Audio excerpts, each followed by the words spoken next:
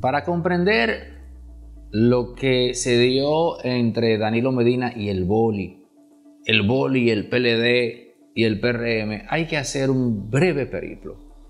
A Bolívar Valera, quien lo lleva al PLD, es Roberto Ángel Salcedo, quien tiempo después dijo que él mismo nunca se sintió PLDista y que él estaba ahí por su padre. Pero que naturalmente cuando se da el desenlace entre Danilo y Roberto Salcedo padre, pues ya no quedaba más que buscar ahí y él recogió y se fue perfecto. Entonces, cuando Roberto se va al PRM, pasó un tiempo prudente en el cual todo el mundo en República Dominicana esperaba que en cualquier momento Bolívar Valera se fuera del PLD detrás de su mentor político Roberto Ángel Salcedo, hijo. Pero Bolí decía de forma reiterada que él no se iba, que él no se iba, que él no se iba. Llegaron las aspiraciones a ser alcalde de Santo Domingo Este y el partido, con Danilo Medina a la cabeza, prefirió a Luis Alberto. Primer golpe, perfecto.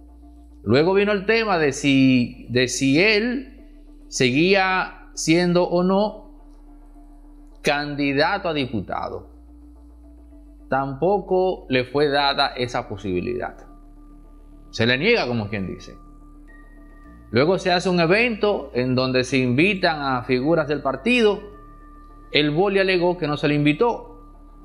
Eh, lo dijo en un tuit muy, eh, con un, muy, no sé si decir, irónicamente más bien lo dijo. Qué bonita la foto. Eh, no, me hubieran invitado, un asunto así. Y ahí nos enteramos de que incluso en las actividades del partido, según el boli, no se le invitaba. Perfecto. Luego de eso, viene finalmente el crossover de Bolívar Valera al PRM. Es posible que el boli tuviese la resolución de abandonar el PLD días después de que se fuese su amigo Roberto Ángel Salcedo. Pero el boli, hay que decirlo, a diferencia de otros, prefirió construir una narrativa que justificase esa salida. Y no tuvo que esforzarse mucho, porque el propio Danilo Medina se encargó de hacerle esa narrativa, quitándole el tema aquel de las aspiraciones como alcalde. Naturalmente, ya la discusión de si Boli podía hacer eso o no, ya eso es un asunto interno del partido y de él. También el tema de la diputación. El punto es que la historia no es la de el individuo que simplemente emigró por emigrar, por abandonar un barco. Al Boli le dieron dos golpes. Al Boli le dieron dos puetazos. Aunque en el PLD podrán decir es que él era nadie. Nosotros lo llevamos a ser diputado. Él es diputado con nuestra estructura. Perfecto. Pero el boli perfectamente podría decir, ustedes no montaron en esa estructura a un don nadie. Ustedes montaron en esa estructura a un perfil que ustedes entendían que podía ganar. Por eso me colocaron ahí. Por eso me permitieron ser candidato si no, no lo hacen, si no, no me llevan. Entonces ahí ambas lógicas o axiomas chocan y no hay un punto de salida. Todo se convierte en una aporía. En síntesis, el relato del boli no es tan simple como ponerlo de que el tránsfuga, a raíz de lo que acabo de decir. Finalmente, Boli dice que va como candidato a diputado en Santo Domingo Este. Y yo digo algo desde ahora. Ya el Boli tiene, ha demostrado que él tiene aspiraciones de ser alcalde. Él va a ser diputado ahora por una coyuntura. Pero llevar a Boli de diputado ahora significa poner en hall el mismo conflicto que él tuvo en el PLD. El PRM simplemente está frenando eso por ahora. ¿Mm? Y posiblemente él gane su diputación y le dé el golpe a Danilo Medina. y le haga él el boli a Danilo lo que no pudo hacerle Leonel. Pero eso tendrá consecuencias más adelante. Y eso lo estoy viendo yo ahora. Porque Boli quiere ser alcalde. Pero yo lo voy a dejar ahí por ahora. Vamos a hablar de eso un poquito más adelante. Gracias por llegar a la parte final de este comentario. Suscríbete, activa la campanita, comenta, dale like. ¿Y qué se me queda? Que compartas los contenidos también. Los dejo ahora con esas recomendaciones y el contenido de La Quinta Pata. Mi nombre es José Daniel Rosario, soy de Jimabajo La Vega y tengo 33 años viviendo aquí en Rincón. Nací en el 74, ahora el 14 de febrero voy a cumplir 50 años. Ahora últimamente estaba trabajando de ayudante en un camión llevando arroz para el pueblo. No tengo trabajo y mi familia estaba necesitando esto porque tengo un sobrino que tiene 20 días no estaba en intensivo. Este premio fue como una bendición que Dios me mandó. Así que le doy gracias a Dios cada día más. Yo cuando jugué el premio, yo, eh, un hijo mío me dio su número. Él lo jugaba en otra lotería. Y mi esposa me dijo, es mejor que tú lo juegues en esta, porque si te pela lo, el boleto con Cuisa para un millón. yo cambié y lo jugué ahí.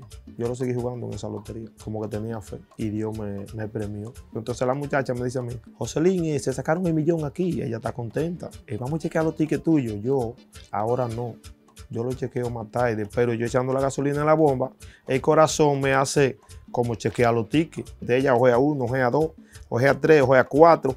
Ahí ella brincó para arriba. A mí se me salieron lágrimas y yo lo que dije fue gracias Señor, gracias Señor por esta, por esta ayuda que me ha dado, que uno estaba necesitando ese dinero. Bueno, yo le aconsejo a la gente de Rincón que lo jueguen porque es una cosa legal. Es bueno uno jugar 25 pesos y y de un pronto que le lleguen 25 millones o que le llegue un millón. Yo me gané un millón gratis con los Tedón. Juégalo tú también.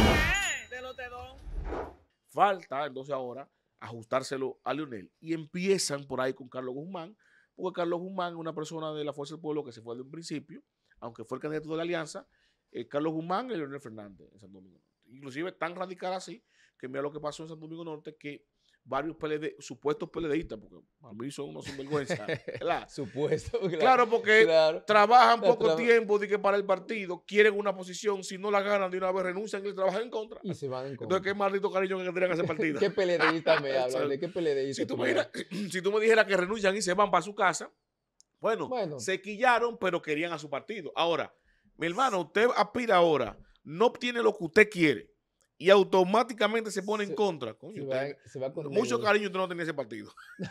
mucho cariño no tenía ese partido. Y parece que eso se está normalizando en los peledeístas, ¿eh? porque están haciendo lo mismo. No, no, y yo digo en toda la clase política, porque eh, y es lamentable. Esta nueva generación de clase política, ahora, tiene unas aspiraciones y no son democráticos, porque si no obtienen la nominación, automáticamente o renuncian o acaban con su partido. Pareciera que lo quieren todo rápido, ¿no? no, y obligatoriamente. y si no me la dan, hago las si Aquí no hay oportunidades, aquí no dejan crecer a uno.